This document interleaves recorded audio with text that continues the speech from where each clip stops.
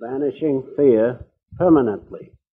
Some people can talk all around the thing,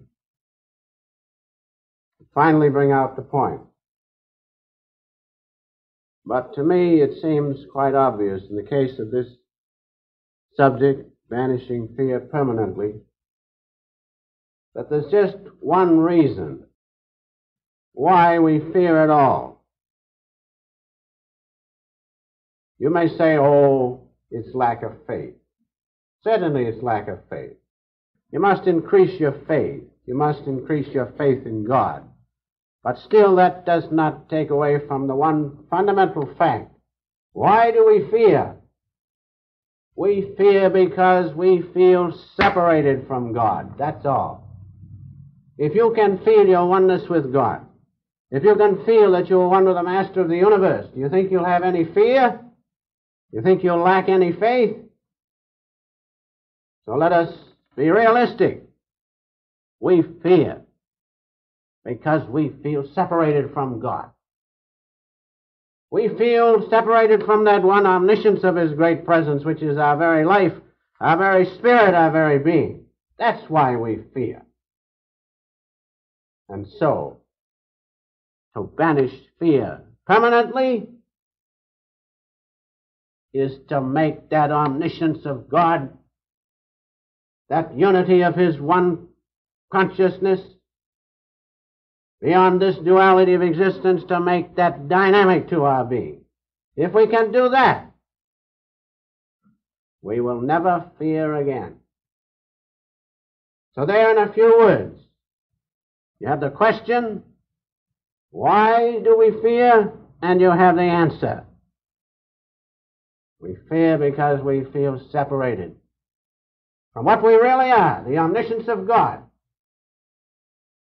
And to do away with fear permanently, we must make that omniscience of God dynamic to our consciousness. Theoretically, we know that God is in us. We know God has created all things. We know He is our very life. We know these things theoretically. But we have to make them our own. We have to emerge in His omniscience, and knowing that, being one with that, and it's dynamic to our being, then we will not feel separated from Him. As long as we live an outward consciousness of duality and do not know the omniscience of God as, as a reality, we will feel separated from Him. But when?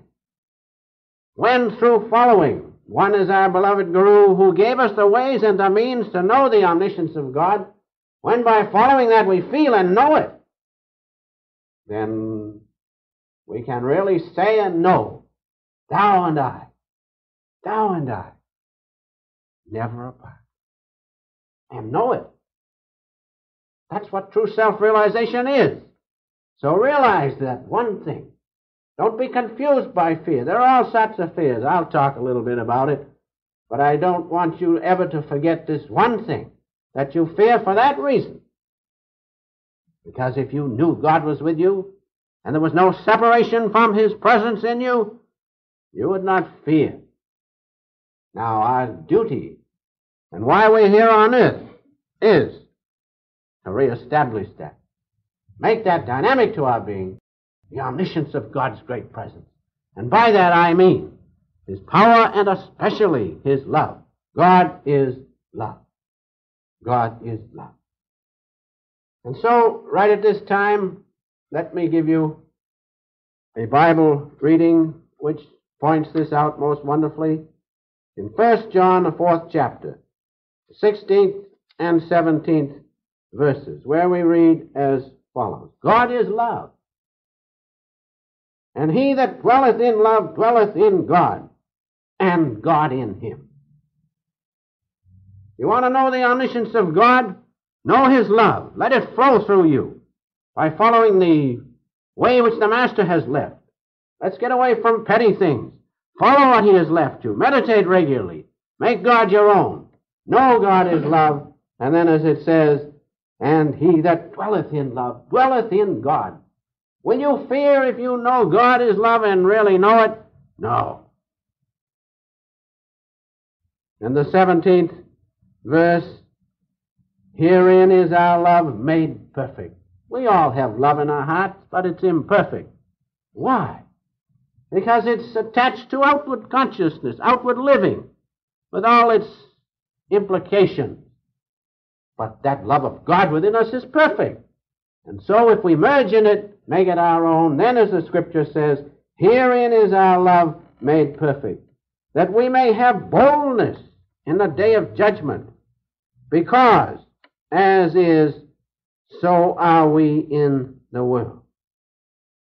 That is, if you know God is in you and you feel His love, you'll have the boldness to overcome anything. And fear is, as it says, in this world. Fear is of, of this world. But if we have God's love, we can overcome the world as Jesus said, In the world you shall have tribulation. Be of good cheer. I have overcome the world. And so the answer to fear is to know the omniscience of God, which, when reduced to its finality, is love. God is love. And finally, the 18th verse.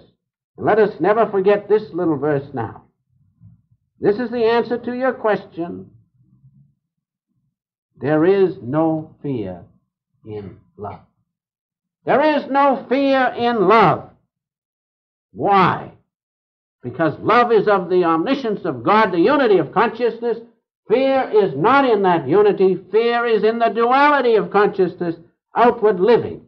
That's why it says, there is no fear in love, because love is God's omnipresent consciousness. Fear is in the region of duality, mundane consciousness, outward consciousness, the consciousness which we have to endure every day, at least part of the day. Those who meditate, get out of it. Get out of it in their meditation and feel the presence of God. So realize there is no fear in love. Perfect love casteth out fear. Perfect love casteth out fear. We fear. Perfect love casteth out fear because fear hath torment. He that feareth is not made perfect in love. Isn't that wonderful? So now if you fear, God's love is not perfect in you. That's how you can tell when the next time you feel something, you begin to fear it, lift your consciousness to this point, feel the presence of God's love, and when fear goes, know that you are in God's love. God is love. And in that love, fear cannot exist. Now I have here a lot of different kinds of fears. Just for a little diversion, we have fear, loss of money and wealth, loss of friends, loss of position, fear of accident.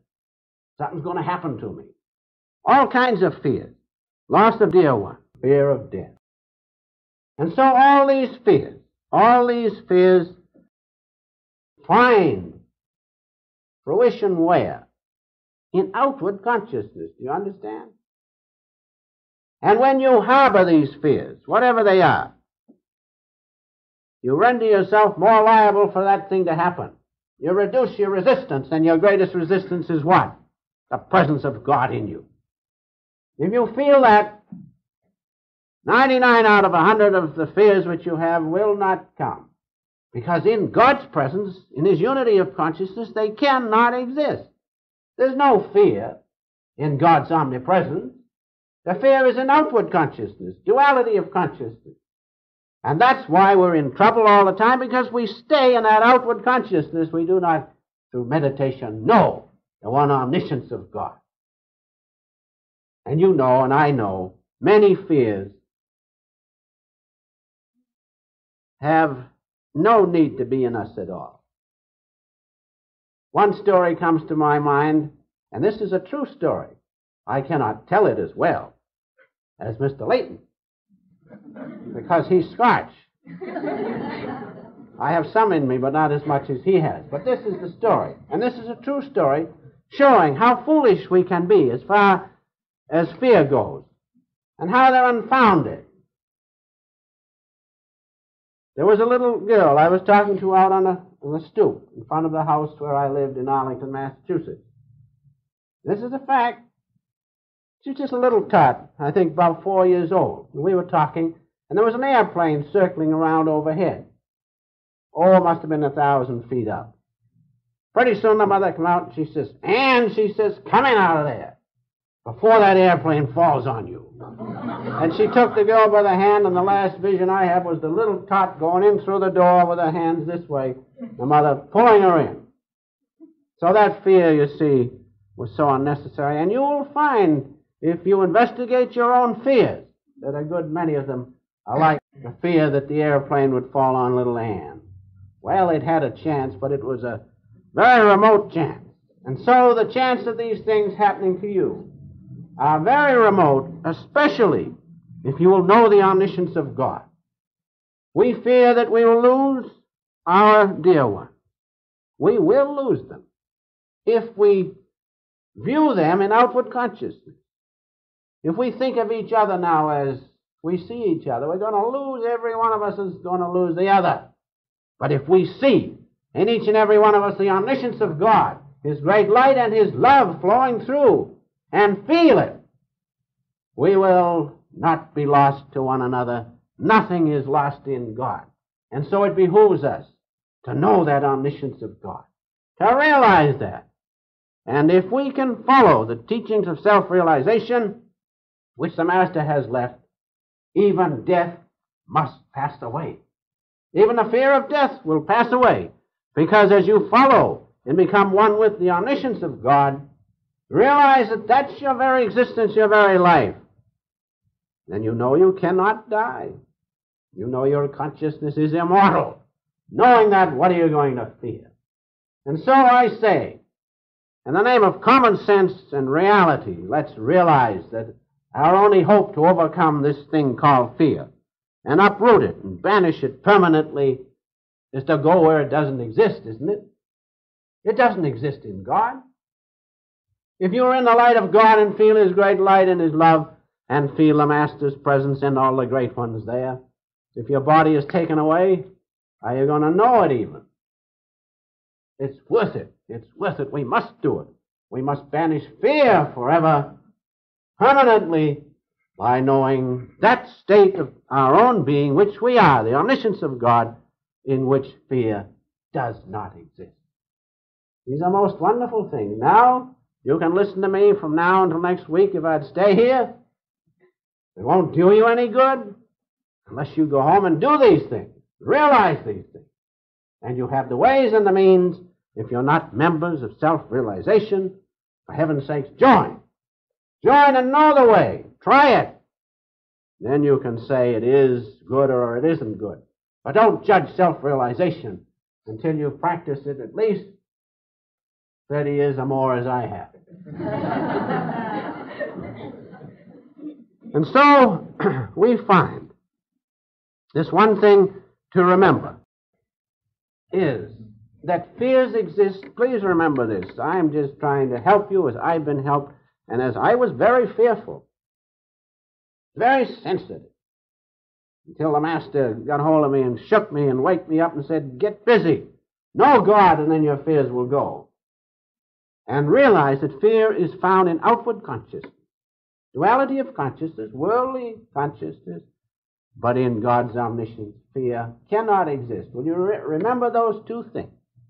If you're troubled with fears, try hard to lift your consciousness to this point by all the will you can muster together, and especially using the techniques which the Master's left, and then you will find fear cannot stay there.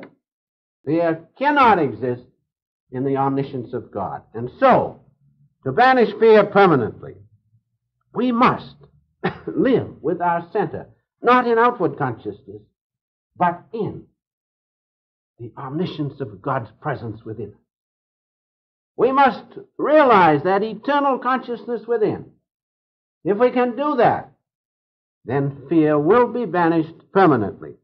I have a, a little note here, which is most interesting, from Brother Lawrence, which many of you have read. The Master used to quote him, in which he says, The presence, practice of the presence of God contains the whole spiritual life. Isn't that wonderful? The practice of the presence of God. If you want to banish fear permanently, get God contact. Get the contact with the omniscience of God. That's the whole spiritual life. And if you have that, fear cannot exist there. So there you have the answer, friend, for banishing fear permanently. If someone gives you a great big sum of money, say a million dollars, fear will go, but it'll come back. You're going to afraid you'll be afraid you'll lose that million. But if you have God and somebody gives you the million, wonderful. They can take the million or keep it. It doesn't make a bit of difference. These are facts. You read the Master's life. He says that very thing. He said, The devil tempted me many times to leave the self realization work. And I could make millions. And I know he could because the Master was smart. But he said, I wouldn't have God. Having God, I have everything. Because my Father has all things. And so let us realize, as all the prophets have said, practice the presence of God. Or as Master said, attain God contact through merging in His presence which is within us as the great holy vibration, the Word. We have the ways and the means. Let us do it. Now, one or two other things, one or two other things I want to point, especially this one thing. As Brother Lawrence says, the practice of the presence of God is the sum total of spiritual life. That's right. But how many can do that? He wrote these things back in, I believe, 1893 or 5. How many can practice the presence of God?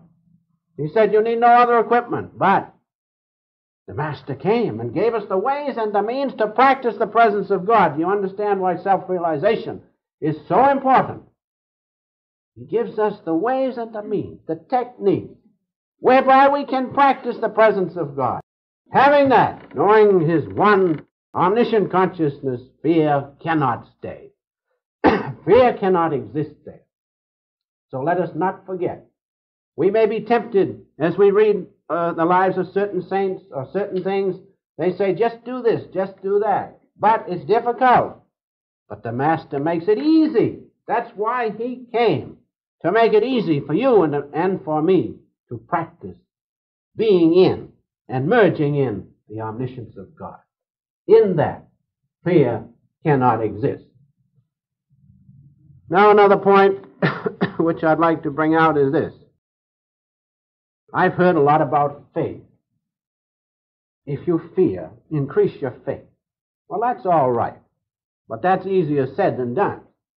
But if you practice being one with the presence of God within you, if you practice being in His omniscient consciousness by God contact, then your faith will increase automatically. Do you understand? We must not get the cart before the horse. We must realize that faith, of course, is necessary to banish fear. But some people can't have faith. But if we practice the techniques of self realization and know the omniscience of God, faith in its fullness come. So realize that. Of course, I know in the beginning you must have blind faith. I know that. I realize that. If you fall on the ground, you put your hand on the ground to get up, don't you? So you've got to have a little faith uh, to start with. But if you want to have that faith which takes away all fear and gives you that peace which passeth all understanding, you must practice being in God. You must practice being one with His omniscient love. That's what Brother Lawrence meant by the practice of the presence of God. But the wonderful thing is, the Master sacrificed His life, His all, that you and I might have the ways and the means to know that presence of God, knowing that you will have banished fear permanently. Fear cannot remain where it cannot exist, can it? It is not in God's omniscient consciousness. Try it. Meditate and get that oneness with God. Fear will not be there. Because as I read in the scripture, perfect love casteth out all fear. Now, we have the example of faith in little children. Children, you see them going along with full faith in their parents. And having that full faith in their parents, they have no fear. And so a man of realization, a man who knows the omniscience of God, he has the same faith, but his faith is in reality. The child's faith will be lost when the parents go away. We all know that. But he who puts his faith in the one eternal Father and his omniscience, that faith will never be lost because God does not pass away. Do You see the difference? And as we had the faith in our parents, let us so live with the faith in the one great Father, your Father, my Father, who does not pass away. That's what we must never forget. And so these lessons are brought to us that we may, through wisdom, follow the right path wherein we are secure and safe and above fear. But this cannot be known. This great omniscience of God cannot be known by man's outward instruments of senses, mind, intellect, inference, and so forth.